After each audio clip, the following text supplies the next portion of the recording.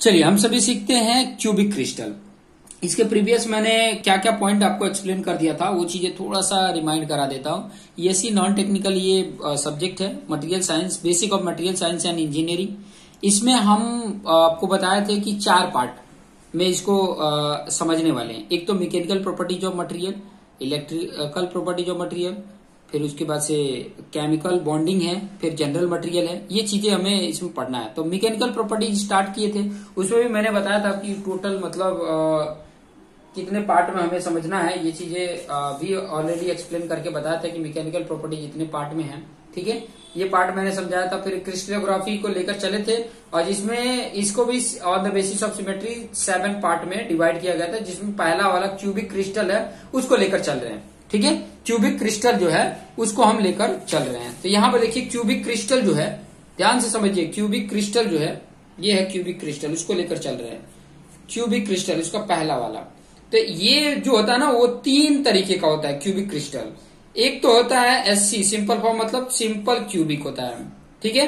कैसा होता है? बड़ा आसानी से समझ सकते हैं। ठीक है? बहुत ही आसानी से समझा दूँगा मैं कि आपको आसान लगेगा। सिंपल क्यूबिक एक होता है बीसीसी बीसीसी को बोला जाता है body centre cubic body centre cubic बोला जाता है बॉडी सेंटर बीसीसी और एक होता है एफसीसी एफसीसी होता है फेस सेंटर क्यूबिक होता है फेस सेंटर क्यूबिक ठीक है, ध्यान रखेंगे फेस सेंटर क्यूबिक होता है okay face centre cubic point आपको समझ में आ रहा होगा।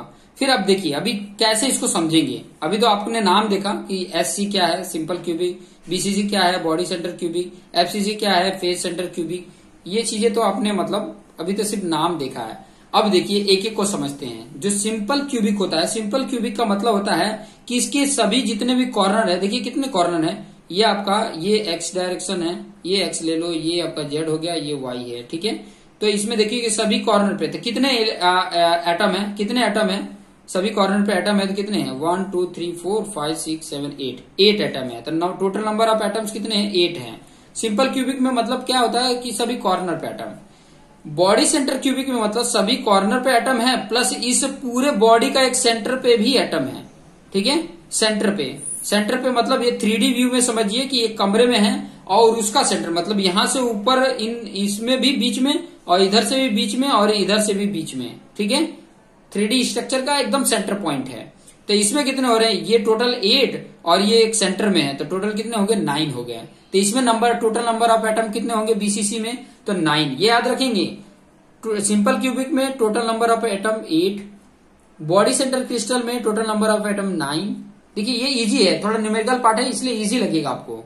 फिर बाद में फेस सेंटर क्यूबिक में, देखिए, पहले नंबर कॉर्नर कॉर्नर पे तो एट है प्लस फेस कितने होते हैं? एक क्यूब क्यूबिक है तो उसमें फेस कितने होते हैं? छह तो छह फेसेस का भी एक एक, एक सेंटर होगा। ठीक है? जैसे ये वाला पार्ट है तो इसका एक सेंटर फिर ये वाला पार्ट का भी एक सेंटर ये ऊपर वाले पार्ट का एक सेंटर ये नीचे वाले पार्ट का एक सेंटर फिर उसके बाद से ये वाला जो आगे सामने वाला है उस फेस का सेंटर और इसके पीछे वाला है उसका सेंटर मतलब ये छह और ये आठ। तो एट और ये सिक्स तो कितने हो गए? फोर्टीन मतलब एफसीसी में टोटल नंबर ऑफ़ एटम कितने हैं? फोर्टीन है। Total number of atom fourteen है। ये चीज़ें समझ में आ गई होंगी। ठीक है? अब इसके बाद एक और पॉइंट समझना है, और वो समझना है average number of atom is a cubic crystal जिसको एन ए वी से इंडिकेट करते हैं। N A V N A V ठीक है? एन ए वी जिसको बोला जाता है average number of atom average number of atom जिसका फॉर्मूला आप देखिए, जिसका फॉर्मूला क्या है?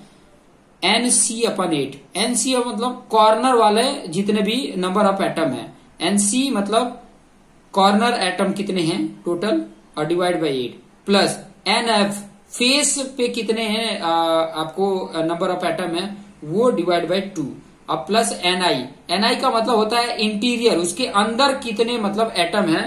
वो चीज़ें हैं. ठीक है? अब इसके बेस पे सिंपल क्यूबिक का, ठीक है? बीसीसी का और एफसीसी का मैंने यहाँ पर निकाल के रखा है. देख सकते हैं यहाँ पर। देखिए सिंपल क्यूबिक में सिर्फ़ होता है एन सी ठीक है? कॉर्नर एटम ही होते हैं। न तो इंटीरियर होता है और न तो फेस पे होता है। तो ये कितने होते हैं? Eight eight upon eight one हो गया और ये ज़ीरो ज़ीरो होते हैं। वन आ गया ये सिंपल क्यूबिक के लिए। एवरेज नंबर ऑफ़ एटम कितने होंगे? वन होगा। याद कर लेना, ठीक है? दिमाग में बैठा भी सकते हो। बार बार इसको रिपीट करोगे तो आपको आसानी से समझ में आ जाएगा। बीसीसी में देखोगे तो कॉर्नर तो एट होता है। फेस पे एक भी नहीं होता है, लेकिन इंटीरियर में एक होता है। तो यहाँ से वन और ये वन टू आ गया। बीसीसी का टू हो गया। एफसीसी का देख लीजिए। एफसीसी में है जो नंबर ऑफ़ एवरेज है एवरेज नंबर ऑफ़ एटम है, ये देखिए कॉर्नर पे एट है फेस पे सिक्स होता है डिवाइड बाई टू और ये इंटीरियर में एक भी नहीं होता है। तो यहाँ से वन और यहाँ से थ्री तो वन और थ्री फोर हो गया ठीक है? तो इस तरीके से आप average number of atom find out कर सकते हैं। समझ में आ गया होगा ये चीज़ें? एवरेज नंबर ऑफ़ एटम ये चीज़ें आपको समझ में आ गया होगा। समझ में आ गया होगा तो बहुत बढ़िया। अभी नेक्स्ट समझते हैं कि nearest distance between two atom जिसको जिससे रिलेटेड कई सारे क्वेश्चंस भी पूछे गए हैं तो ये भी बहुत इंपॉर्टेंट है। देखिए क्या बोल रहा है। डी जो होता है nearest distance between two atom centre ठीक है? दो एटम के सेंटर टू सेंटर के बीच का नियरेस्ट डिस्टेंस नियरेस्ट डिस्टेंस का मतलब है, समझ लो कि एकदम मतलब ये चिपके हुए हैं। तभी इनके रेडियस और रेडियस के बीच में ये आ सकता है। जैसे कि अगर सिंपल क्यूबिक लेते हैं तो यहीं पर एक, यहाँ पर एटम है, यहाँ पर एटम है, यहाँ पर है कॉर्नर पे ही है, ठीक है कॉर्नर पे है। तो आपको पता है कि यहाँ का एटम और यहाँ का एटम नियरेस्ट डिस्टेंस क्या होगा? उसका centre to centre nearest distance कितना होगा? जब एटम और एटम ये क्या टच है, ठीक है एटम और एटम टच है तो यहाँ पर देखोगे उसके सेंटर यहाँ पे और इसका सेंटर यहाँ पे तो इन दोनों के बीच का डिस्टेंस कितना है? ये एटम है पूरा ये एटम है पूरा स्पीयर का, ठीक है? स्पीयर स्पेयरकल पार्ट में है। तो इनके बीच का डिस्टेंस क्या है? ये डी है। तो ये डी कैलकुलेट करने के लिए आता है। तो देखिए, इसमें तो यही वाला आइटम है, यही, हर जगह यही। और इनके बीच का डिस्टेंस ए है ए है, ठीक है? तो ये वाले पार्ट को देखोगे, इन दोनों के ए है। मतलब ये डी इक्वल टू क्या है?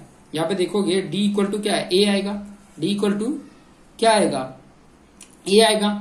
और डी आपको पता है कि ये आर और ये आर कितना होता है? टू आर होता है। तो two R equal to A, D equal to two R और ए का ए, यहाँ आर इक्वल टू क्या हो गया? ए बाई टू हो गया।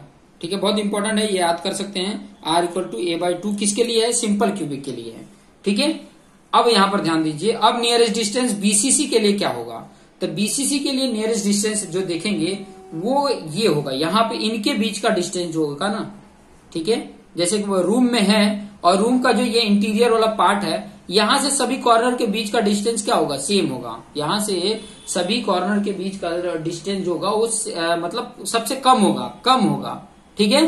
तो वही नियरेस्ट डिस्टेंस निकालना है। तो ये बीच वाला है तो बीच वाले पार्ट को देखो, ये कैसे निकालेंगे? देखो, अगर मान लो ये वाला स्क्वायर पार्ट है, ये वाला स्क्वायर पार्ट है तो उसका ये वाला पार्ट निकालने के लिए क्या करोगे? ये वाला पार्ट निकालना है तो क्या करेंगे? वन मिनट, एक मिनट। थोड़ा सा एर आ गया था, ठीक है? तो यहाँ पर देखेंगे, थोड़ा सा जो पॉइंट बता रहा था मैं, ये पार्ट कैसे निकालोगे? तो आपको पता है कि अगर मैं इस वाले पार्ट को ले अगर ये वाला पार्ट लू तो आपका ये और ये राइट एंगल है यहाँ पर, और ये वाला हाइपोटेनियस होगा तो वो निकालने के लिए पाइथागोरस लगाओगे तो रूट टू ए आ जाएगा। अब ये कैसा? ये वाला जो पार्ट है, ये और इसके परपेंडिकुलर है, ठीक है? तो ये तो रूट टू ए है और ये ए है तो उसके बेस पे ये रूट थ्री ए आ जाता है। तो ये पूरा ए बी को अगर लेके चलते हैं तो पूरा क्या है? देखो, एक तो सेंटर वाला एटम पूरा आ जाएगा, और इसका हाफ़ और इसका हाफ़ सेंटर टू सेंटर इसके सेंटर से इसके सेंटर की बात कर रहा है। तो नियरेस्ट डिस्टेंस जो आ रहा है, इसका कितना आ रहा है? देखो डी प्लस डी ठीक है? डी प्लस डी कितना हो गया? टू डी और ये डिस्टेंस जो है, ये इसकी अगर बात करेंगे तो कितना है ये? रूट थ्री ए है, ये जो डिस्टेंस है वो कितना है? रूट थ्री ए ठीक है? तो यहाँ पर डी अगर देखेंगे तो डी को हम टू आर में अगर ये टू डिवाइड कर दिए तो D equal to root three upon two A आ गया। और फिर डी टू आर हो गया। टू ये फिर डिवाइड करेंगे तो root three upon four A ये बीसीसी के लिए आ गया। R equal to root three upon four A ये इंपॉर्टेंट पॉइंट आ गया बीसीसी के लिए। ठीक है? अब एफसीसी के लिए भी देख लेते हैं। इंपॉर्टेंट एफसीसी के लिए भी है। ठीक है? सेम उसी की तरह तो एफसीसी में देखोगे तो ये सेंटर है ना? तो इसका नियरेस्ट डिस्टेंस ये आ सकता है। तो ये वाला तो अभी ऑलरेडी इसके प्रीवियस भी देखे थे रूट टू आया था। तो ये वाला पार्ट को अगर देखेंगे, ठीक है एम ओ अगर पार्ट को देखते हैं ओ एम वाला पार्ट को तो इसका भी इसी तरीके से, लेकिन इसका डिस्टेंस क्या है? रूट टू ए है। तो two D equal to root two A और यहाँ डी इक्वल टू आर रखेंगे तो टू टू जब फोर आर हो जाएगा, और four R equal to root two A है आर इक्वल टू क्या आ जाएगा? Root two upon four A आ जाएगा। इसको और भी कन्वर्ट कर सकते हैं, लेकिन चलेगा, इतना भी लिखोगे तो चलेगा। R equal to root two upon four A rationalise भी कर सकते हैं। बाकी तो ये ठीक है। तो ये एफसीसी के लिए बीसीसी के लिए एससीसी एससी के लिए आपको आइडिया मिल गया होगा कि इनका रेडियस क्या होगा। ठीक है? इन टर्म्स ऑफ़ उनके साइड का। ठीक है? क्रिस्टल के साइज़ का क्यूबिक क्रिस्टल के साइज़ का। तो ये चीज़ें आपको समझ में आ गया होगा। अब इससे रिलेटेड देख लेते हैं कुछ क्वेश्चंस को। ठीक है? आपको अगर अगर देखना है वॉल्यूम ऑफ़ सेल जो होगा, अगर देखो, अगर मान लो कि रेडियस फॉर्म में होता है तो four upon three pi R cube लेकिन अगर ए सेल के फॉर्म में होता तो क्या होता? Four upon three pi A cube होता, ये होता, ठीक है? अब उससे रिलेटेड देखिए, ये क्वेश्चन आया था। ईएससी 2018 में ये क्वेश्चन पूछा था what is the volume of FCC unit cell in term of its atomic radius R R के फॉर्म में बताना है एफसीसी के लिए, देखिए एफसीसी के लिए बोला है। तो एफसीसी के लिए पहला नंबर तो वॉल्यूम ऑफ़ क्यूब क्या होगा? ए क्यूब होगा। ए क्यूब होगा वॉल्यूम ऑफ़ क्यूब अगर देखोगे तो ए क्यूब हो जाएगा, ठीक है? उसके बाद अब देखिए ए का फॉर्मूला क्या है? वो चीज़ें अप्लाई कर दीजिए। ए का ए की वैल्यू क्या थी? आर इक्वल टू क्या आया था? देखिए R equal to root two upon four A आया था एफसीसी के लिए। तो ए इक्वल टू क्या लिखेंगे? Four upon root two R लिखेंगे। फोर अपॉन इसको अगर छोटा करना तो ये भी कर सकते हैं। देखिए, ये टू इंटू टू कर सकते हैं। Into R upon root two तो ये, देखो, इसको एक टू को हम root two into root two लिख सकते हैं। तो एक रूट टू कैंसल क्या आ रहा है? टू रूट टू आर आ रहा है? ए इक्वल टू तो ये ए की जगह पर पुट कर दीजिए। तो इसका क्यूब निकल जाएगा। टू रूट टू आर का क्यूब का फॉर्मूला क्या हो जाएगा? टू का क्यूब एट और रूट टू का टू रूट टू होगा। तो एट टू जा sixteen root two R cube आ जाएगा। ठीक है? तो इसकी वैल्यू जो आ रही है वॉल्यूम ऑफ़ क्यूब का, वो आर के टर्म में सिक्सटीन रूट टू तो इसमें ऑप्शन बी राइट हो जाएगा। ठीक है? इस तरीके का क्वेश्चन अब बीसीसी के फॉर्म में अगर पूछ लिया इन टर्म्स ऑफ़ तो बीसीसी के फॉर्म में आप निकाल लेना। ठीक है? ये क्वेश्चन आपको होमवर्क में देते हैं बीसीसी और उसके बेस पे आपको आंसर बताना है कि क्या होगा। ठीक है? कमेंट करके उसका आंसर ज़रूर बताइएगा कि बीसीसी के फॉर्म में हो तो क्या आएगा। या तो अगर ऐसा बोल दिया एससी के फॉर्म में होगा सिंपल क्यूबिक के फॉर्म में होगा तो क्या आएगा। ठीक है? अब यहाँ पर थोड़ा सा कुछ और इंपॉर्टेंट पॉइंट देख लीजिए। चूज़ द करेक्ट आंसर की बात कर रहा है। चूज़ द करेक्ट आंसर तो चूज़ द करेक्ट आंसर में देखिए। Simple cubic R R equal to two A R equal to two A होता है, नहीं ए बाई टू होता है। तो ये वाला राइट है A R equal to T A अब बीसीसी जो होता है root three upon four A सही है। आर की value BCC root three upon four A है। ठीक है? निकालोगे तो आपको आ जाएगा आर के फॉर्म में। तो ये भी देख सकते हैं root three upon four A ये भी राइट है। BCC R equal to four root three A ये नहीं है, ठीक है? तो ये दोनों राइट है। इससे रिलेटेड कुछ और इंपॉर्टेंट पॉइंट यहाँ पे देख सकते हैं। जो सिंपल क्यूबिक का रेडियस है, वो ग्रेटर होता है बीसीसी के और बीसीसी ग्रेटर होता है एफसीसी के। आप निकाल के भी चेक कर सकते हैं, आपको आइडिया मिल जाएगा। और वॉल्यूम जो होता है, वो सिंपल क्यूबिक का ज़्यादा होता है। रेडियस ज़्यादा है तो वॉल्यूम भी ज़्यादा ही होगा ना, ठीक है? क्योंकि वॉल्यूम रेडियस के ऊपर डिपेंड है डायरेक्टली प्रोपोर्शनल में है। तो रेडियस ज़्यादा तो ये सिंपल क्यूबिक भी इससे ज़्यादा, ये इससे ज़्यादा। तो ये पॉइंट थोड़ा सा ध्यान में रखेंगे, ठीक है? ये पॉइंट थोड़ा सा ध्यान में रखना। कुछ और रिलेटेड इससे पॉइंट है, कुछ और रिलेटेड पॉइंट वो भी हम देख लेते हैं कि ताकि हमें आइडिया मिल सके, किस तरीके के क्वेश्चंस आने की प्रोबेबिलिटी होती है सब कुछ का आइडिया मिल सके, ठीक है? तो चलिए, वो भी क्वेश्चन हम देख लेते हैं कि ताकि हमें आइडिया मिल सके। देखिए, ये क्वेश्चन है। ये क्वेश्चन ठीक है? अब यहाँ पर थोड़ा सा हम सीखेंगे, अभी तक तो हमने नियरेस्ट डिस्टेंस वाला देख लिया, ठीक है? फिर बाद में इसके पहले वाला एक देख लिया था एवरेज नंबर ऑफ़ एटम देख लिया था। अब एपीएफ देखेंगे। एपीएफ क्या बताता है? एटॉमिक पैकिंग फैक्टर बताता है। एपीएफ एटॉमिक पैकिंग फैक्टर बताता है। तो ये एटॉमिक पैकिंग फैक्टर क्या होता है? उसको बारे में देख लीजिए। वो क्या होता है? Average number of atom into four upon three pi R cube volume and volume of cell volume of cell क्या होगा? ए क्यू हो जाएगा ए के फॉर्म होगा तो। और ये वॉल्यूम ऑफ़ स्पीयर की बात कर रहा है। Four upon three R cube ये स्पीयर की बात कर रहा है। अब यहाँ पर देखिए वैल्यू पुट करके देखिए सिंपल क्यूबिक के लिए। सिंपल क्यूबिक के लिए एनएवी वन होता है BCC average number of atom two होता है और एफसीसी का फोर होता है। ठीक है? ये तो एन एनएवी आपका सबका पता है। ठीक है? और आपको ए के फॉर्म में आर का वैल्यू भी आपको सबका पता है, ठीक है? लिख भी सकते हैं यहाँ पर। देखिए, पहले का आर की वैल्यू जो है, वो क्या है? ए बाई टू है सिंपल के लिए।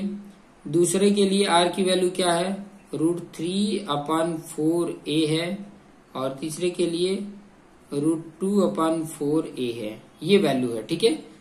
ये सबके लिए मैंने लिख दिया। अब ये वैल्यू आपको यहाँ पे पुट करना है। देखिए, मैंने ये पुट किया है, सबकी वैल्यू आई है, लेकिन आपको ये वैल्यू याद रखना है, ठीक है?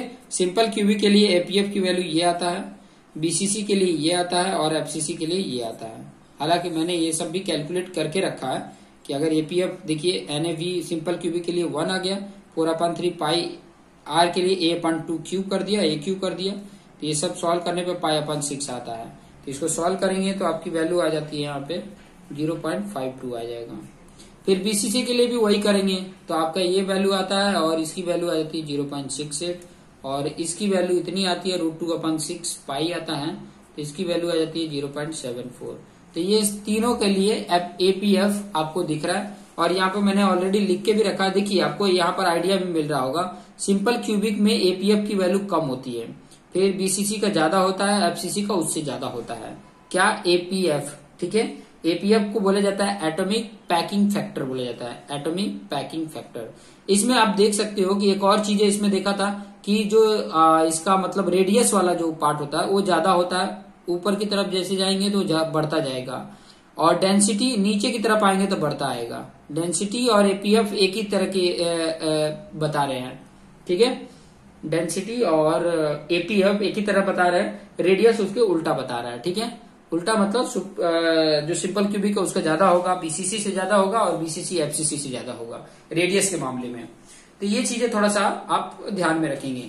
अब कुछ थोड़ा सा एक टेबल बना के आप यहाँ पर समझ सकते हैं।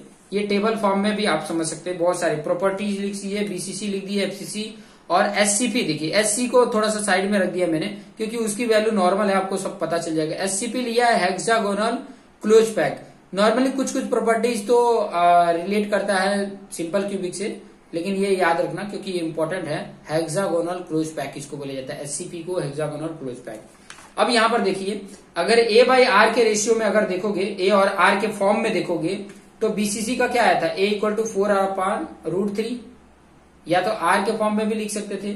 यहाँ पे A equal to four R upon root two और इसका A equal to two R था।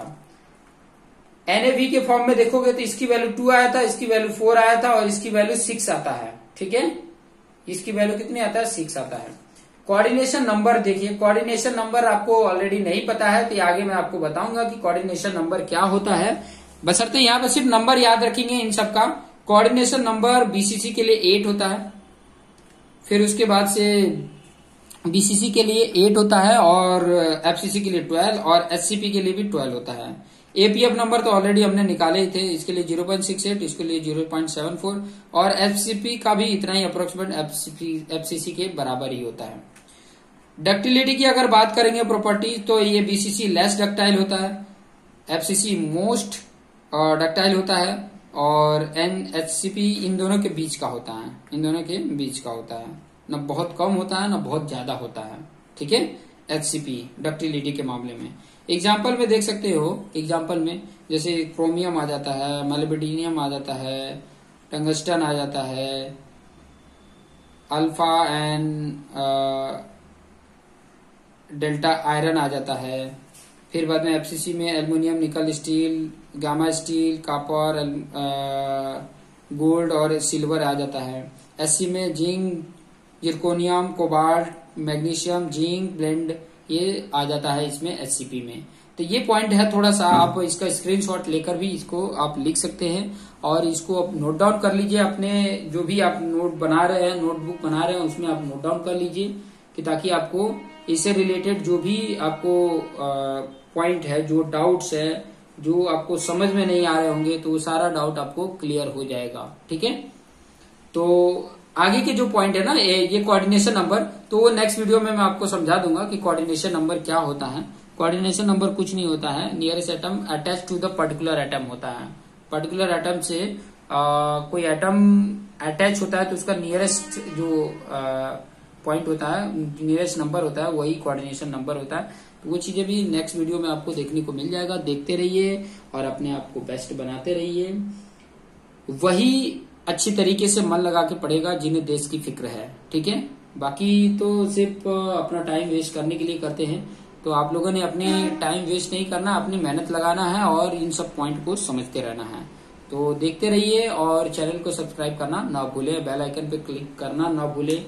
और लाइक वीडियो को ज़रूर कर दे ताकि रिकमेंड कर सके अदर पीपल्स के लिए अदर लोगों के लिए अदर स्टूडेंट के लिए. Thank you